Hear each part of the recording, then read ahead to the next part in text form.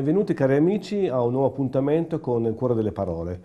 Oggi abbiamo con noi una giovane autrice del nostro territorio, Gloria Pellegrino, che viene da Boves. Ciao Gloria. Ciao. Ecco, giovane perché ha 17 anni, 17 anni e, e ha pubblicato un libro da poco, da poco tempo eh, un libro molto particolare, insomma, di cui si può parlare a lungo perché la tematica è, eh, diciamo, scottante. L'ombra del nostro amore. L'ombra del nostro amore è un eh, romanzo poderoso, più di 600 pagine, dove questo amore di cui si parla è forse l'amore più, più difficile che si possa raccontare nella storia, cioè tra un nazista e un'ebrea. E questo amore si svolge per buona parte ad Auschwitz. Allora, Gloria, il libro chiaramente è, eh, l'argomento è di quelli difficili, di quelli mm -hmm. impegnativi. Allora, la prima domanda è come hai pensato, perché hai pensato di, come prima, opera prima, a 17 anni si presume sia l'opera prima, si presume, ehm, di scrivere un libro del genere?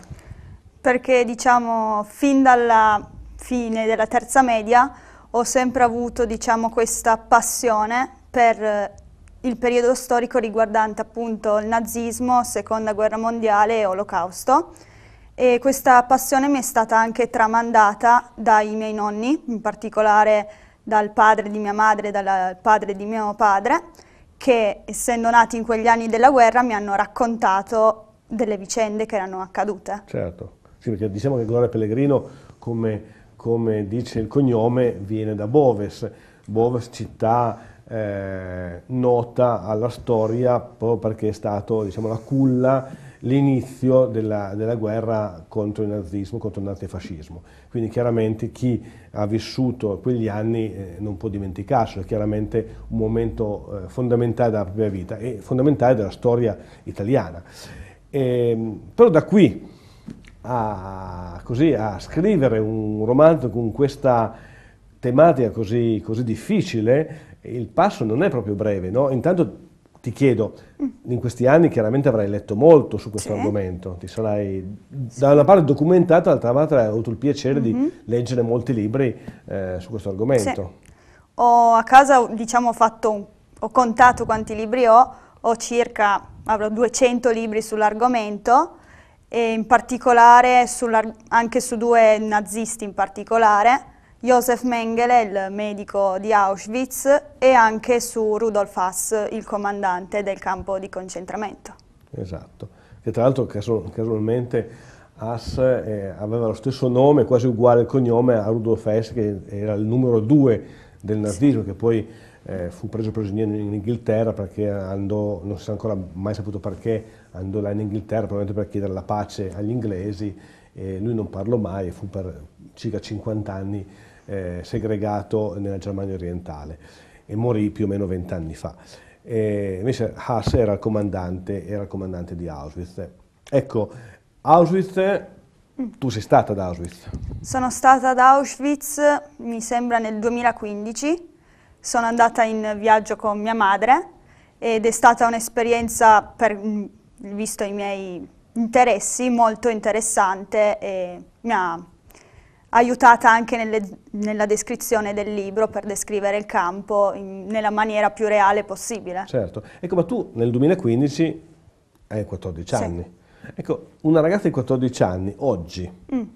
cosa, tu sapevi già di Auschwitz, sapevi già, avevi già visto dei, dei documentari, avrai già sì. letto dei libri, no? Eh, cosa prova una ragazza di 14 anni D'accordo, tu sei una ragazza particolare, mm -hmm. chiaro che non tutti i 14 anni, 17 anni si interessano così tanto di nazismo e olocausto, però cosa hai provato a stare là, in quei posti? Ma visto diciamo, la mia giovane età, forse non ho provato molte emozioni che, tristi, mm -hmm. ma ero molto presa dall'andare a vedere le più cose possibili. Mentre invece credo che se andassi in questo periodo qui, che comunque quasi 18 anni, probabilmente proverei più emozioni anche mh, in quanto riguarda entrare in una camera a gas, ti prende proprio...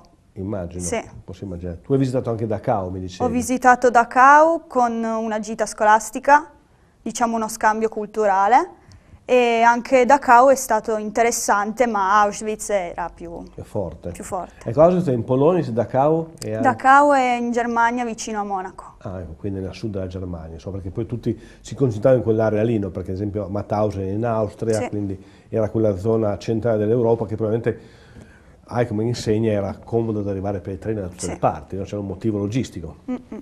I tedeschi facevano le cose in maniera razionale, purtroppo la loro, la loro caratteristica nel bene e nel male di essere razionali. No?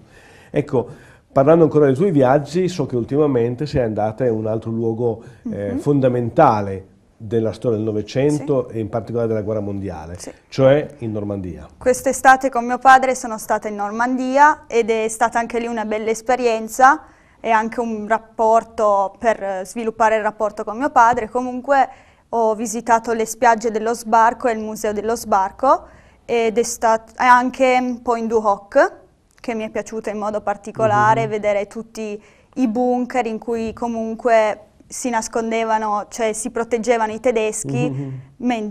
per difendersi certo, dall'arrivo certo. degli Gli alleati. Gli alleati, insomma. E hai visitato anche i cimiteri. Ho visitato anche il cimitero. Che c'è davanti a Omaha, sì. c'è questo grandissimo cimitero sì. immenso, e... che quello fa veramente impressione. Tutte queste sì. croci, io l'ho visitato anch'io due anni fa. E se vai a leggere le date di questi ragazzi, mm -hmm. tutti ventenni, 20, 23, 24 anni, tutti giovani, cioè, una cosa terrificante, cioè, non dovrebbero essere lì. E invece, e invece sono rimasti lì. Insomma. Ecco, torniamo un attimo mm. a, al libro, al nostro punto di partenza. L'ombra del nostro amore. Già in copertina entriamo dentro il libro, perché sì. in copertina c'è un disegno molto bello fatto da, da tuo zio, sì. Diego Pellegrino, eh, in cui c'è chiaramente lo sfondo di Auschwitz, famoso, la famosa binaria che portano sì. al campo, e c'è questo disegno con uh, chiaramente un ufficiale nazista che abbraccia teneramente una prigioniera ebrea. Mm -hmm. ecco. eh, la domanda che uno si pone, no? come è osato scrivere un libro del genere? Cioè raccontare un amore che forse può esserci stato, mm -hmm. perché chiaramente i rapporti sessuali mh, diciamo forzati c'erano, questo è chiaro. Consideravano i tedeschi, gli ebrei, una razza inferiore, quindi potevano usarla come volevano. Mm -hmm. Qui però si tratta di sentimenti un sentimento sì. ricambiato no, tra un mm -hmm. nazista e un ebreo. Quindi come hai pensato di, di, descrivere questa cosa qua, come hai osato farlo, diciamo mm -hmm. pure?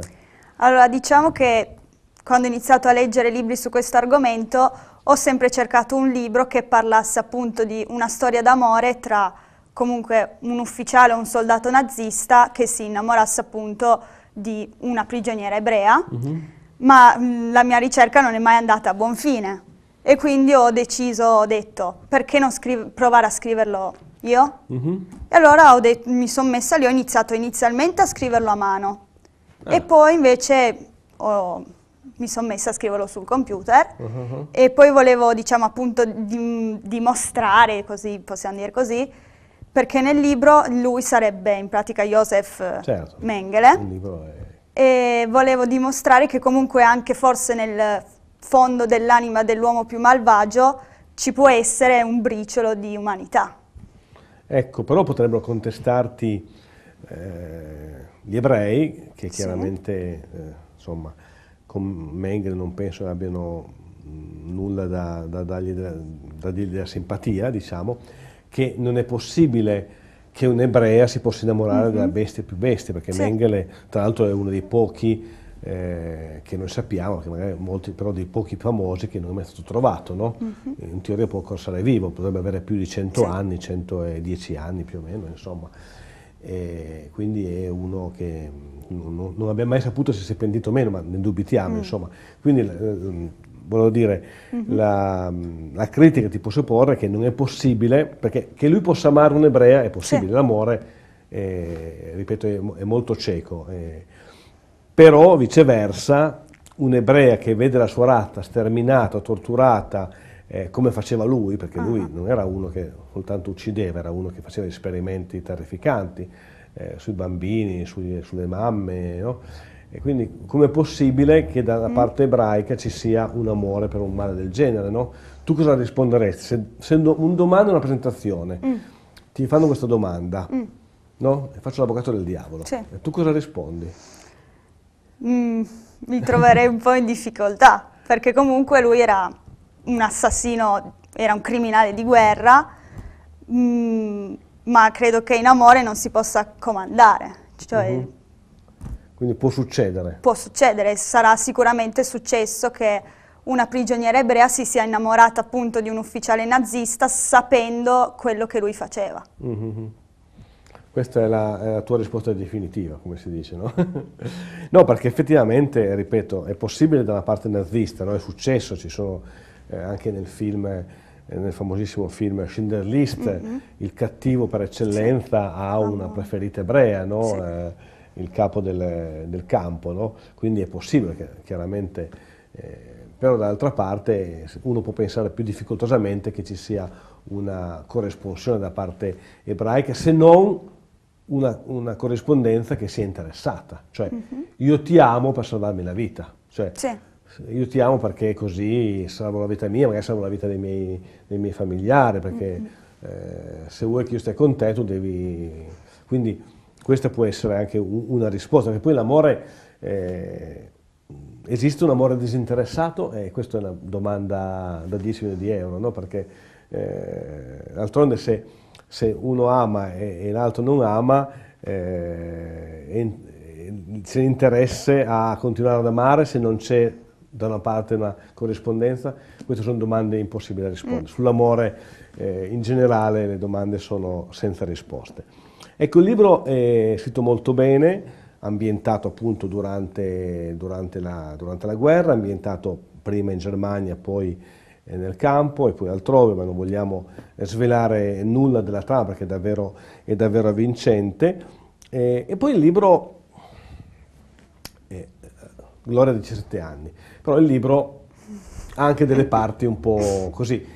Eh, l'amore non è soltanto un amore platonico, no? no. Quindi, eh, Gloria racconta anche gli aspetti più carnali dell'amore, sì. no? che poi sono gli aspetti veri. Eh, l'amore è fatto di, eh, di, sorrisi, ma è fatto anche di, di altro. No? Ecco, su questo ehm, ti sarà richiesta, mm. no? perché uno scrittore si pone, si fa delle domande mentre scrive, tu hai scritto 600 pagine, quindi non è che l'hai messo giù in una settimana, no? Eh, domanda, quanti anni ci hai messo a scriverlo? Oggi l'hai pubblicato che hai 17 anni sì. e 6 mesi. Ho iniziato a scriverlo quando avevo 14 anni. Quindi è una gestazione molto lunga. Ecco, nella tua testa avevi già tutta la trama o avevi soltanto una, un nocciolo eh, di partenza? Ma avevo già la trama abbastanza completa, mm -hmm. poi comunque man mano che scrivevo mi venivano in, in mente altre idee, quindi io le aggiungevo mm -hmm. mentre scrivevo. Ok, tutta la storia della famiglia italiana in Germania, sì. questa era già nella, nella storia sì. iniziale, una famiglia appunto ebrea italiana che è in Germania e che viene coinvolta poi da, da, dal conflitto naturale, come naturale che sia. Torniamo al discorso iniziale, perché uh -huh. abbiamo mhm. fatto questa digressione per darti tempo a rispondere sull'argomento sull appunto dell'amore carnale che viene uh mhm. -huh. raccontato molto bene qua. Ci avrei pensato di mettere pagine più o meno forti, no? Sì. E, e, poi hai pensato che bisognava scriverle queste sì. pagine, insomma, eh, di amore fisico molto, non dico mhm. estremo, mm. però semplicemente raccontato in maniera vera, sì. no? Perché spesso l'autore...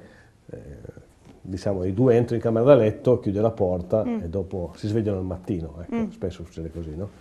Nei film americani anni 50 questo sì. succedeva, no? eh, pensa che ad esempio nei, nei, nelle, nella storia di, di, Walt Disney non c'è mai un'idea un di, di, amore del, del, del sesso, no. cioè, tutti i personaggi sono mm. tutti zii, sono tutti qui qua qua, di chi sono figli? Non si sa.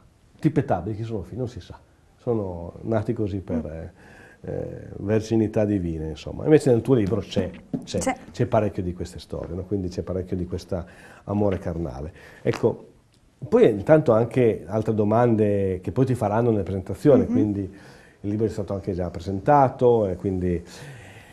Eh, perché scegliere proprio il più cattivo dei cattivi, potevi mm. anche scegliere un personaggio, perché poi alla fine il nome è cambiato, ma si capisce sì. chiaramente che, che è, lui, Mengele, è Mengele. chiaramente.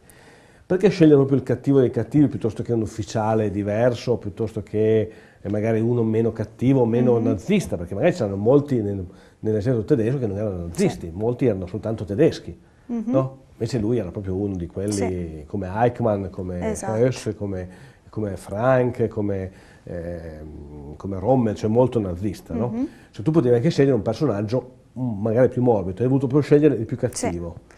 Perché volevo rendere la storia ancora più interessante, appunto per porsi queste domande, ma perché proprio un personaggio come Mengele? E poi anche perché il personaggio di Mengele, fin da quando ho iniziato a interessarmi di questo argomento, mi ha affascinata in modo particolare, sia specialmente per via della sua uniforme, perché mm -hmm. io adoro le uniformi di tutti i tipi, mm -hmm. ma anche perché mi, affascinava la sua mi affascina la sua personalità che è un po', mh, come si può dire, uh, non saprei dire non so interpretare il tuo pensiero, su Mengele vorrei non andare a interpretare il tuo pensiero. Ha tipo una doppia personalità. Tu dici, secondo te aveva una personalità sì, meno perché, cattiva? No, una doppia personalità, in alcuni casi aveva una personalità insieme ad esempio con dei bambini per i suoi esperimenti che comunque gli dava le caramelle mm -hmm. e poteva giocarci insieme, ma in altri casi tirava fuori il lato oscuro della sua personalità in cui appunto faceva questi esperimenti senza anestesia e che non avevano un minimo di senso. Sì, la domanda è proprio perché l'uomo può arrivare a quei limiti e allo stesso tempo può anche essere un po' buono, no? l'uomo può essere così cattivo e a volte può anche essere un po' buono, questa è una domanda in generale che si, si, può, porre, eh, si può porre sempre, insomma. E, ehm, negli anni non hai mai fatto un ripensamento, perché scrive tre anni di un libro, uh-huh. insomma uno può anche ripensarci un attimo, no? in tre sì. anni di lettura hai letto molto uh-huh. su questo argomento qua, non ci hai mai ripensato di tornare, di, di, cambiare qualcosa su questo aspetto qua, perché è un aspetto molto inquietante, devo sì. dire, leggendo il libro uno si, si chiede... Uh-huh. No, uh, no, sei, sei, no non, non, ho mai avuto ripensamenti. Non hai avuto ripensamenti, no. ok. Okay. Ma questo fascino mm. per le, le divise, mm. faccio una domanda, non è, un, è, il fascino del male, perché a volte comunque... Eh, il male affascina. Il male affascina. In alcuni casi. Eh. E Ma... anche credo che il nazismo sia comunque un argomento che interessa molti perché appunto non, non è concepibile. Mm -hmm. Non puoi capire come mai un popolo sia andato dietro a questo uomo, per, anche se aveva delle idee che erano fuori dal mondo. Fuori dal mondo, ecco. Quindi, ecco, a questo punto faccio una domanda uh, generazionale. Mm. Tu hai 17 anni, oggi in Europa c'è un certo neonazismo così, cerchiamo di tenerlo a bada, però c'è, no? di ragazzi che hanno la tua età, poco più, sì. che chiaramente sono lontani da un punto di vista proprio dell'età, dell'esperienza da quel, da quel mondo, eppure ne sono affascinati. Mm-hmm. Nel tuo caso tu hai un fascino culturale. Sì. Nell'altro caso invece ci sono proprio un antisemitismo nascente, c'è proprio un fascino politico. Eh, come, come, lo puoi spiegare? Se hai una tua idea, ecco. Se mm. hai una tua idea su come, come, mai la gente della tua età, sì. uh, improvvisamente in questi ultimi 10-15 anni, sono tornati a essere così mm. follemente nazisti. Credo che sia anche legato al fatto della storia contemporanea, cioè di adesso, appunto con l'arrivo di queste forti immigrazioni mm -hmm. da mhm. parte de dell'Africa o comunque di altre zone, che portano diciamo anche allo svilupparsi di idee razziste. Certo, quindi una rinascita di razzismo. Sì, che e che il razzismo se continua e si aggrava porta a fascismo o nazismo. Certo, quindi Tanto bisogna vedere cosa succederà. Il fatto che anche, anche far vedere a questa gente dei film non so se, non so se serva, però eh, boh, sper, speriamo che questa, cosa, questa onda, questa anom, anomala, onda anomala di male eh, si, possa, si, possa, arrestare. Eh, domanda, mm. Eh, se tu devi consigliare a qualcuno perché leggere il tuo libro? Mm.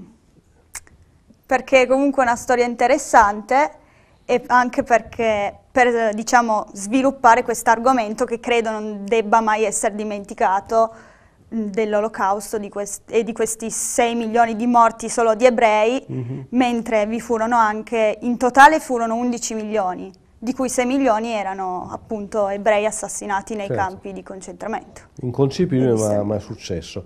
Eh, hai in mente un nuovo libro?